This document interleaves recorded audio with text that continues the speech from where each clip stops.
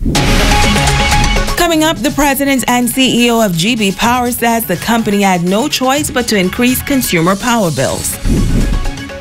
The Freeport Container Port making a major investment. And community tourism on the island of Bimini, our Italia Hall explains. The Bahamas Tonight, the Northern Edition starts now. This is the Bahamas Tonight, Northern Edition.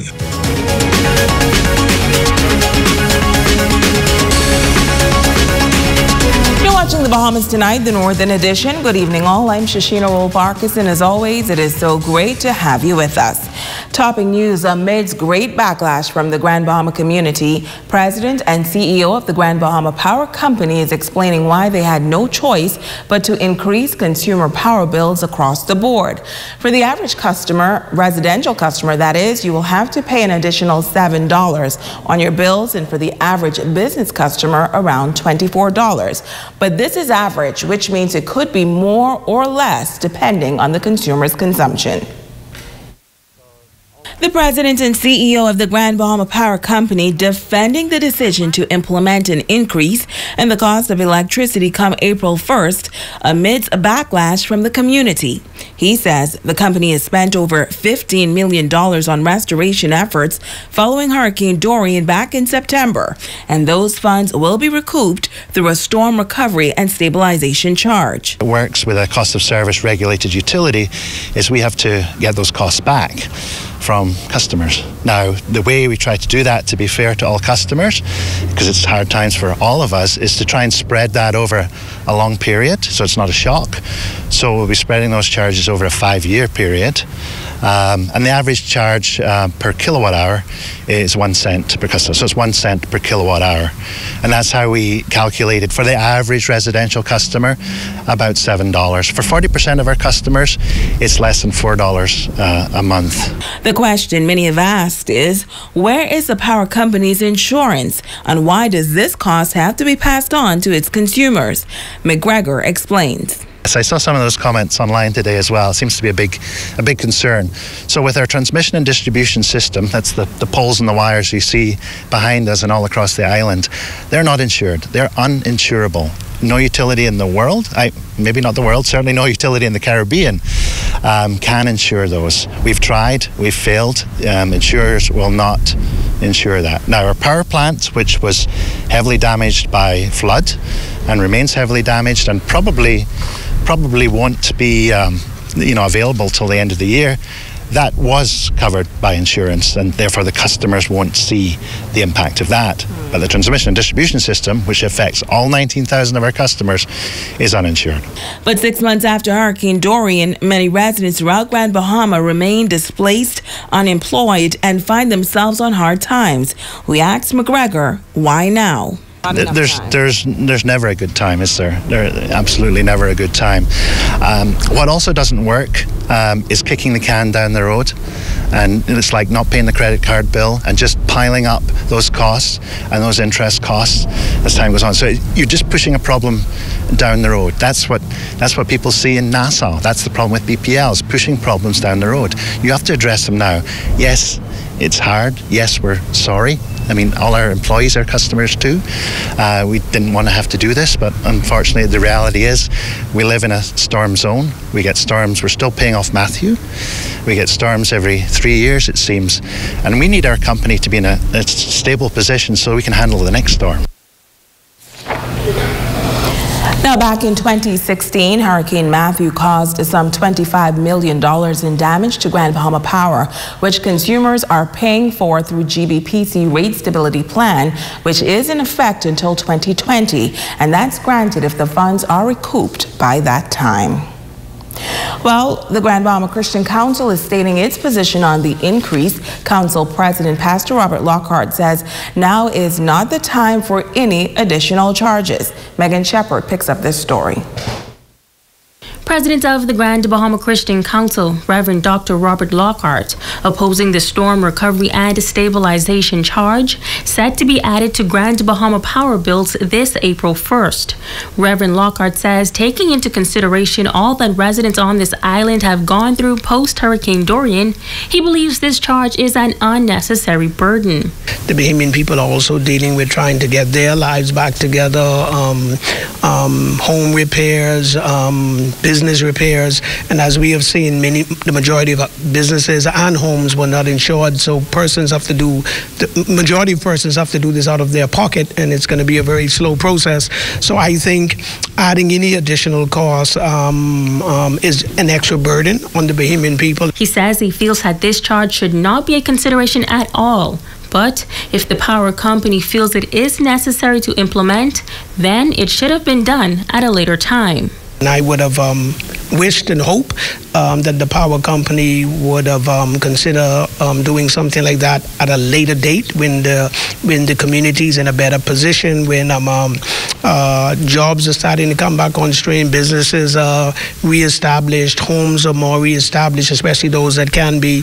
the employment rate is probably back down to a normal area, then I think it would be um, appropriate for the power company to say, hey, things have cost such and such, and we want to recuperate some of that cost, and then maybe an additional cost considered by then. I think now is a bad timing and, and just put added pressure on the people of the community. Reverend Lockhart continues to work closely with the public post Dorian.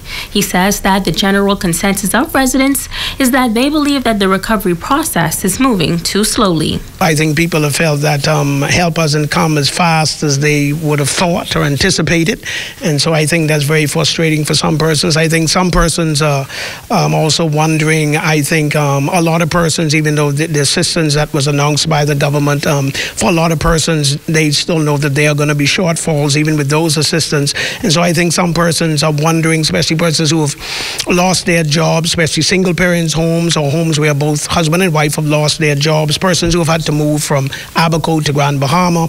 Um, um, I think persons are wondering how am I going to make this happen? Megan Shepard, ZNS Network News.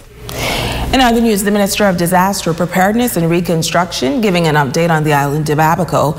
Tonight, he says the ministry will also seek to strengthen communication on that northern island.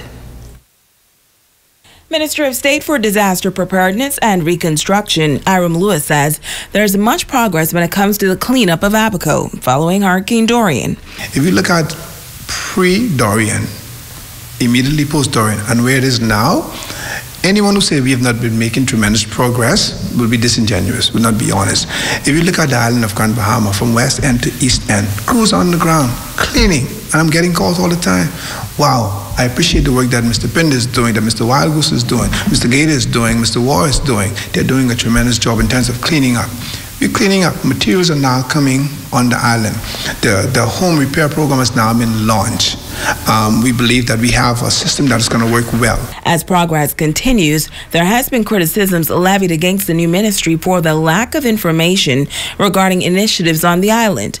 However, he says they have done their best to ensure, in particular, when it comes to the home repair program, the persons on Grand Bahama and Abaco were facilitated, even if they were in Nassau.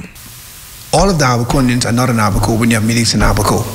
All Abaconians are not in Nassau when you have meeting in Nassau on their behalf. So you'll always have a gap in there. Now, how do we fill that gap is up to us. And we're asking persons to use social media for not just for gossiping and, and for spreading um, um, um, um, um fearmonger or, or fearmongering. Let us use it for the right reason. If you know something is going on, you can alert your neighbor. And if you find information out, tell them what, what transpired. He contends that the government is working. I've heard talks um, about the member of parliament for North and South Abaco um, haven't done anything, haven't met with their people. But you can see clearly there were town meetings that they attended, that they, they um, uh, uh, uh, spoke to, spoke to what happened, what is happening, and what will happen.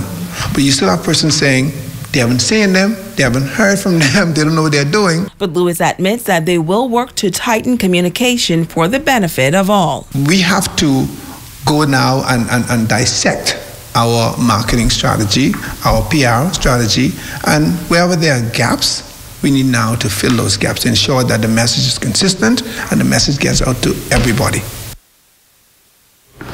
Now let's go to Bimini, where residents on that northern island are preparing for a big economic boost. The Ministry of Tourism is playing a leading role in this effort. Officials hosting a seminar focusing on business opportunities that are expected to unfold. Italia Hall has the story tonight. In just a few weeks, the island of Bimini is expected to receive a major boost as a new cruise ship will begin traveling to that northern island on a regular basis. A new cruise port was recently constructed near Resorts World Bimini to accommodate the new addition, the Virgin Voyages cruise ship that is based in Florida. The seminar was organized to prepare Bimini residents for business opportunities to come. Janet Johnson of the Tourism Development Corporation says almost 3,000 passengers will be on board that cruise ship. We they'll be able to mingle and move about and go into the town and uh, interact with Biminites.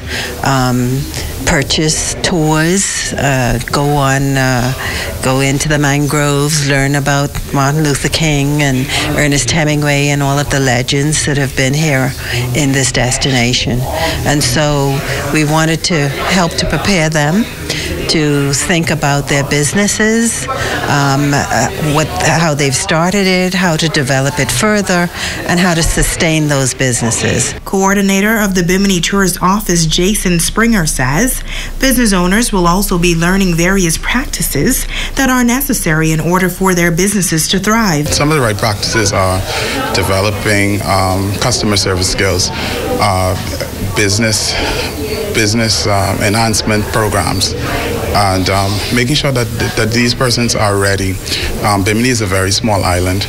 Um, to be prepared for 3,000 to 4,000 persons from the cruise ship is a is a high demand, and we, we want to make sure that they are prepared. Dean of Graduate Studies and Research from the University of the Bahamas, Professor Vic Nair shared some key tips with the business owners as well. I'm taking them through a step-by-step approach in in preparing, in developing and sustaining a community-based tourism product. Uh, as you know, uh, the Bahamas is the Bahamas has a lot of community-based uh, uh product but the biggest problem they face is they do not know how to take it to the next level. Senior advisor for the Small Business Development Center, Winston Rule, also on hand for the seminar. He says the organization realizes that they do not have a local representative on the island. We felt it was a good opportunity to come and see what the need was and how we could assist. Um, secondly, if the Tourism Development Center are preparing these persons, these businesses to take advantage of the, uh, uh, the opportunities that's coming towards them, we want to make sure that these businesses are in a position to, to really expand their offering and be able to provide good quality service to the customers that are coming. And it's more than just funding. Uh, funding is only one aspect of it. Um, obviously, there may be some um, business development needs that these businesses may have. Now, this is a three day seminar. The final session is expected to be held on Saturday, February 29th, between the hours of 9 a.m. and 1 p.m. right here at the Big Game Resort. Reporting in Bimini for ZNS Network News, I'm Italia Hall. Well, Bimini resident and business owner Leonard Stewart says it was important for him to be a part of the seminar for several reasons, and he's looking forward to the new development. I'm a business owner. I'm a born and raised uh, Biminite. I've been working in the uh, tourism uh, basically industry for over 50 years. I'm just retiring from the Bahamas Ministry of Tourism after 17 years, and I'm head to the uh, CBT, uh, community-based uh, tourism, and I'm looking forward to improving my business. I have a, a car rental uh, business here on the island, and I'm looking for another unique uh, business that I can bring to the table to uh, sustain the island of Bimini and to uh, welcome uh, new visitors to our island. Business owner Rosalind Ramsey is also encouraging other Biminites to take advantage of the three-day seminar.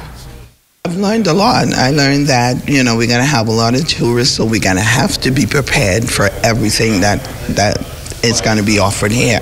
So we have to be on top of things because Bimini is a small island and we're going to be having a lot of tourists come in. So we have to be on top for everything.